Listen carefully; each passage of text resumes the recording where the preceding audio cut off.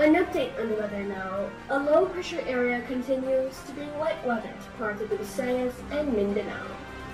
BBG News resident meteorologist Gwen Ikamina now joins us to tell us more about this.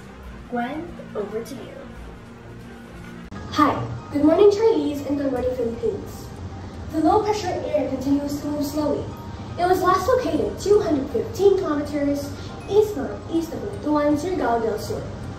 It will continue to bring at times heavy to heavy rain. In Quezon, Bicol Region, Mimaropa, Visayas, and Mindanao. Flooding and landslides remain a threat in these areas, especially due to unprecedented rainfall received the past days.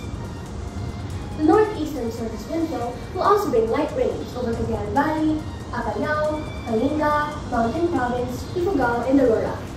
Passing rains are also expected in the Ilocos region and the rest of Cordillera and Central Luzon Metro Manila may still have cloudy periods, but the sun is shining brightly again and the rain chance remains low throughout the day.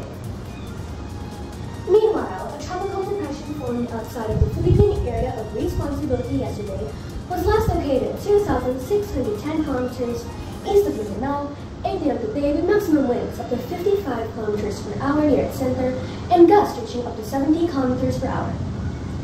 It is forecast to intensify into a tropical storm within the day. The storm will then slowly track northwestward and may enter PAR by Monday as a typhoon.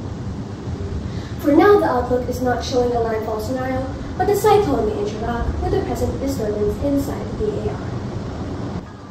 So now, looking ahead of our seven-day forecast, we're expecting, first of all, temperatures to stay in the low 30s because of the rain. The storm starting around 2 o'clock. Really, we could see a few isolated along the coast at this But then it will continue throughout the evening, becoming more widespread. Tuesday morning, will watch out for rain and storms, and another round in the afternoon. Rain chance goes down only slightly by the end of the week as temperatures go up into the upper 30s. To prepare for this weather, make sure to grab your rain jacket and your boots. You won't also want to forget your umbrella.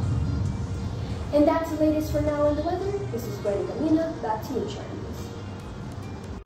Thanks a lot, Gwen Ikamina. They're joining us this morning. Take care, everyone, and keep safe.